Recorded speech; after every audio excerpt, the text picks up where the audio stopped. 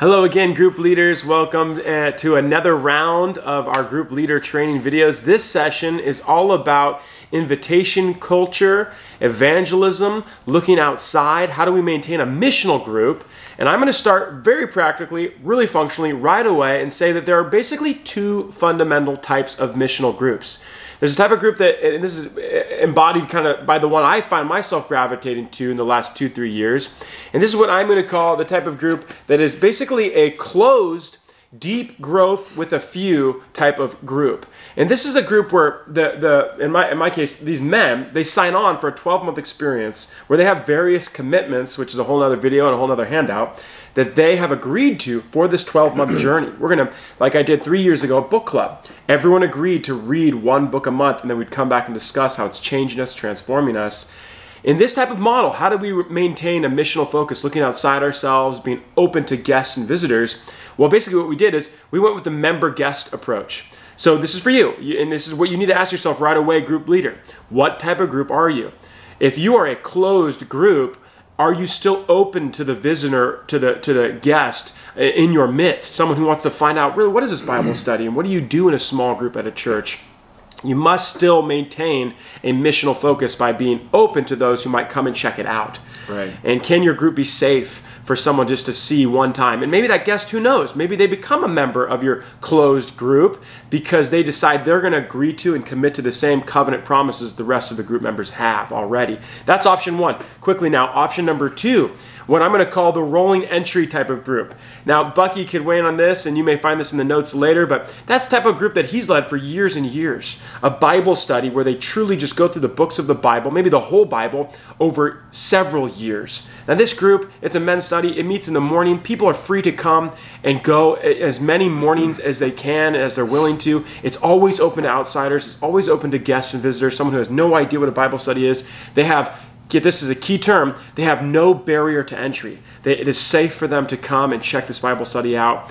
The common denominator is what I want to say before I hand it back over to Bucky. All groups must maintain a commitment to being missional, to being outsider focused, uh, to, to being kingdom focused, that people grow in the relationship with Jesus, that they invite other people to have a new relationship with Jesus or a more transforming relationship with Jesus. All groups should maintain that commitment. The how is up to you, but all groups should maintain that commitment, right, Bucky? Yeah, yeah. It's the Great Commission. We're all together on mission because we've been commissioned to go and make disciples together. And so every group has that call uniquely if they're formed in a different way, but they want to say focused outward and saying, how can we make a kingdom impact in our circles of influence? How can we build and make new disciples? Mm-hmm. And we want to help you at Watermark as a leader because uh, as a leader, you want to lead in that. Uh, groups have a tendency to grow inward, which right. is a great strength. We all want that fellowship, community, accountability, but we have to lead an outward focus. Mm-hmm. And so, as a leader, I want to give you a couple of practices that will help you keep that missional edge within your group. Good. One of them is prayer. Not just praying for our own prayer requests, which is a great thing.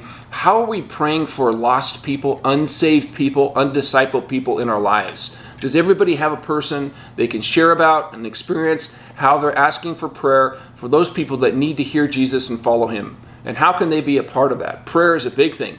The second thing is grace testimony. Everybody in your group has a grace testimony. And to share those grace testimonies regularly, mm-hmm. to actually equip them in that, what it looks like to have a grace testimony, share that grace testimony, that keeps your group focused on, hey, wow, God's given me a testimony. I'm supposed to share that with the people that don't know Jesus in my life. Yeah. That's a great practice you can use. Also, service. Mm. You know, do a service project within the community. T- help them get out of the box, right? Go to the homeless and do a homeless feeding.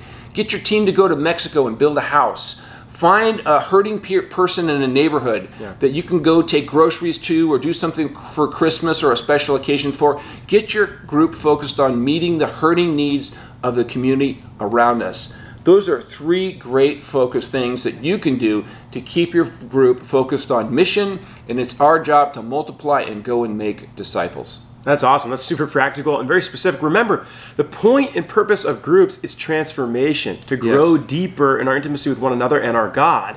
These things, when you go inside, as Bucky said, it can be a strength, it can be a wonder, it can lead to intimacy.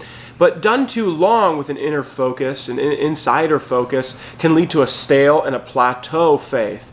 Now, uh, that's what I love about that example, Bucky, about serving. When you go out, you're going to find that your faith is soaring and that people are transformed Yes. uh, just by going outside of their comfort zone and, and serving others. So the group maintains a transformative aspect. Yes, so much happens when you take people on an adventure where they have to step out of their comfort zone and trust God by faith, whether that's praying for the lost, going to serve people that they're not familiar with, sharing their grace testimony. There's so much growth that happens there. And because you're with them in the group, you're going to help them process that growth and make, make that growth more powerful for everybody. It's a, it's a transforming thing in a group to go on mission. Yeah, you know, the practical thing you just me think of, Bucky, is that consider where your group meets. You know, groups are not only official if they meet at the church building, they meet in homes. That's actually a wonderful kingdom benefit because the church has moved into the neighborhood, actually, in a wonderful way. So, who's in your midst? Wherever you gather for your group, maybe you meet at a coffee shop.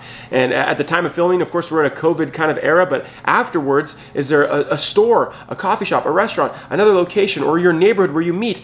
The kingdom is advancing wherever you are. So, don't forget that. Don't underrate that. There's great potential all around you as your group gathers in particular areas. Yeah, yeah, it's awesome. And you can open up your home to those people that are not in your group and have a special outreach night where you have a dinner and conversation and just build relationships with people in the community. Right. And uh, that's a great opportunity as well. Yep. So don't forget, you guys, the, the mandate here is to look outward, to maintain a missional focus, to, to consider pushing the kingdom out. And remember, there's wonderful biblical tradition that undergirds everything we've said today. Yeah. If you look at Jesus, his work and ministry, his most popular topic was the kingdom.